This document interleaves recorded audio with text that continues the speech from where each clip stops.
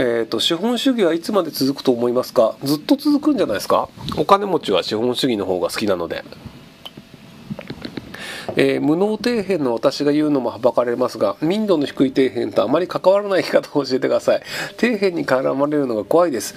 えっと絡まれるのって絡む価値があなたにあれば絡まれるんですけど絡む価値すらなかったら底辺にも絡まれないと思うのでそういう意味でその絡まれないようにその価値をどんどん下げていってください。例えばそのなんかお金持ってそうだったら絡まれるかもしれないしじゃあその美人とかイケメンだったら声かけられるかもしれないのでなんかブサイクになっていただいてなんかデブになっていただいてでなんかこう眼鏡かけて死んだ魚のような目をしてなんか頭にタオルとか巻いてなんか名前をひげ親父とかにすると、まあ、大抵の人間は近寄ってこなくなるのでそういう感じの演出とかしていただけるといいんじゃないでしょうか。フランスでは雪は降っていますか？こちらは首都圏を中心にツルツルしていて大変です。最近降ってないですね。年末は雪降ってたんですけど。シティーハンターの映画見ますか？ね、ミッコさんがね、シティーハンターの映画で大喜びしてたんでね、こう、ミッコさんを嫌がらせをするためだけに見に行こうかなと思ってるんですけど、はい。えー、東京一極集中はこれからも進みますか？進みます。えっと、基本的にその、あの、大都市の方が仕事って多いんですよ。で景気が良くなってくると大都市以外の地方都市にも仕事が来るんですけど景気が悪い時って必ず大都市に仕事が集中しちゃうんですよ。要はその人が多いところに仕事が生まれてで仕事が欲しいっていう人がどんどん東京に集まるのでで人が多いからまたそれで仕事が発生するっていうそういう好循環になるんですよ。なので景気が悪い限りは東京の日極集中は続くんじゃないでしょうか。えー、前どうやったらマリファナ吸えるか質問したやつだけどこの前カルフォルニアで勧められた日本人は買えないらしいんだけどあれは未成年が酒とかタバコ買うみたいな感じでいける？クエスチョンマーク。えっとカリフォルニア州は、まえっと、解禁は決まったけどそのえっと州の投票で解禁は決まったけどまだ解禁にはなってないっていう状態じゃなかったっけ？なので一応カリフォルニアはまだ買えないんじゃない買うためにはその医療用のやつなんでなんかお医者さんの診断書かなんかが必要みたいなそういう感じじゃなかったでしたっけ？ひろゆきさんのインタビュー動画見ました。インタビュー中は編集の力が立派に見えます。そうでしょうね。編集力でこうなんかちゃんとしたこと言ってるような感を作ってるんでしょうね。東京で一番物価が安い街ってどこ？檜原村じゃないですか。天井どれくらい高いですか？立ってもらえませんか？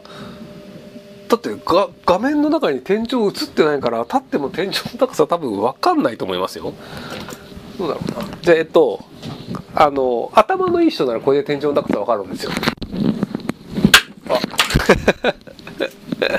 要はあの今何をしたかっていうとあのこの速度で上に上げてで天井に当たった音してないじゃないですか。それで下がってきたので要はその秒数を測ると最低何メートルぐらいのこう部屋の高さがあるかっていうのが一応計算できます。頭のいい人なら。はい。やってみてください。本はいつ販売するのですか？なんか毎月1冊出るぐらいな感じ。重量によるだろう。えっとね。えっとね。あの昔ねピサの斜塔っていう塔がありましてでねそこからねあの1キロの木の玉と1キロの鉄の玉を落としてどっちが先に落ちるでしょうみたいな実験とかがあったりしたんですけどえっと6メートル半だ。物理の授業ですか？はい。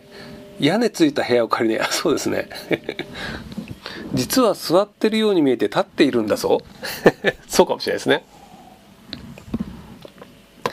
三浪して大学に入ったんですがこんな僕でも就職できるでしょうか？別にできるんじゃないですか？大学行ってなくても就職できるんで。重量は空気抵抗あるなら関係あるぞ。えっと重量よりもそれはむしろ形状の方が空気抵抗には重要ですね。はい。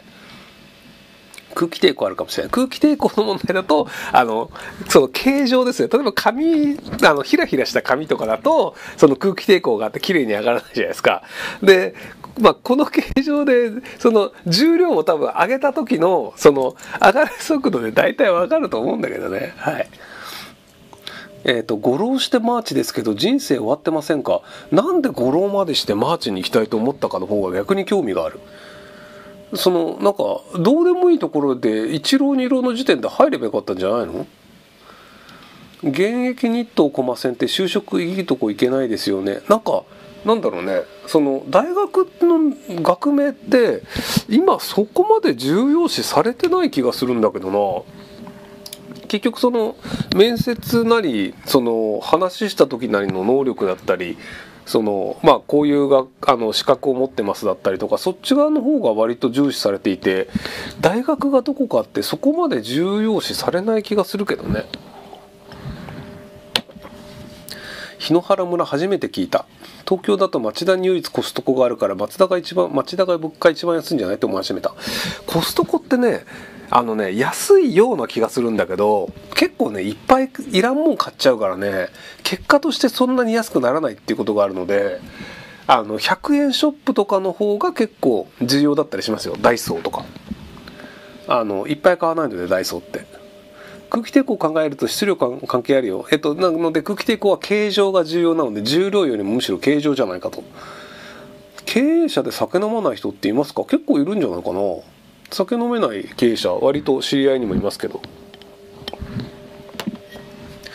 ハワイやカリフォルニアの家の値段は今後さらに上がり続けると思いますか？長期目線で。えっと、まずカリフォルニアというくくりがひどい。あの、昨日も放送で言ったんですけど、カリフォルニアって日本の国土より広いんですよ。なので、その、東京の地価が上がるか、網走の地価が上がるかっていうのをごっちゃにするのっておかしいじゃないですか。なのでそのサンフランシスコの地価が上がるとかハワイの地価が上がるっていうのはそうだと思いますただあのカリフォルニアってそのもうあのそのなんか30キロ四方誰も住んでないみたいな本当にあの何にもないところもいっぱいあるのでネバダとのあたりあのこう間にあるシエラネダバシエラネバダ山脈に行く山中あの最中のこう岩山の辺りとか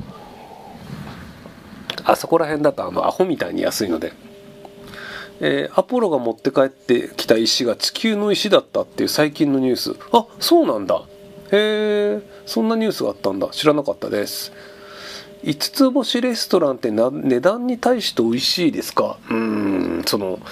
美味しいって人の定義だから別にまずかないけど僕はまあ自腹じゃ絶対行かないなと思いましたね。はい。在仏10年になりました。30代半ば彼女として独身です。何を目標に生きていけばいいですか？普通に生きていけばいいんじゃないですか？なんだろう。別にその彼女がいるかどうかって人生でそんなに大事ですか？彼氏でも作ればいいんじゃないですか？20代は読書や経験など自分に知恵をつける投資と将来のための貯金とどちらをメインに考えるべきですか？うん両方って何でできないんだろう？よく20代の100万と60代の100万価値が違うときますが、えっと、まずその20代で100万をあの福利に入れとくとどんどん増えていくので得だよねって話があると思うんですけどでただそのなんだろうな知恵をつけたり資格を取ったりするための投資を制限して貯金をしてもしょうがないと思うんですよ。例えばそのあのなんだろうなお金が1000万円ある人だったらじゃあそのどういう投資をするかっていうのでその1%利子が使う違うとまあ年間に10万円ぐらい変わるわけですよ。なのでまあ多少何時間か考えてもいいと思うんですけど100万円しか持ってない人が一生懸命考えて利子が1%増えたとしてもあのたった1万円の差なんですよ。でそれぐらいだったらあの何らかのその能力なりスキルなり資格なりつけてあの給料が高い会社に転職するっていう方がよっぽど給料増えるんですよね。なんかなそれなりに資格を取ってこう転職したらじゃあその年収がなんか30万増えましたとか50万増えましたとかザラなんで多分そういう形の方が儲かるんじゃないでしょうか。俺の中学の友達がタイのお姫様と結婚してフランスに住んでいますがひろゆきさん近所って言ってましたタイのお姫様がフランスに住んでるの？へえ会社員です。強制参加の会社の行事などに行きたくありません。行かなきゃいいんじゃないの？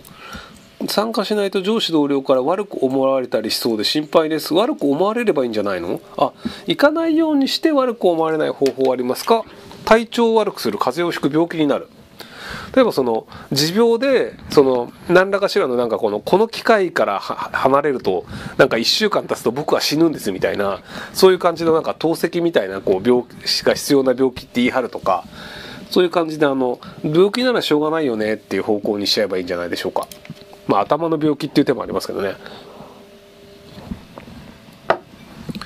応募の時点で排除されるのは大学によって新卒はまあめちゃくちゃ人気の企業はそうでしょうね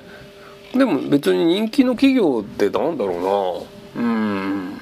まあすごい裏技的な入り方になると思うんですけど多分その一から受付に行かないでそこの社員の知り合いを通してあの人事になんとか掛け合ってもらうみたいなそういうこう絡め手が使えるんであれば別にあの大学ってどこでも関係ないと思いますけどね。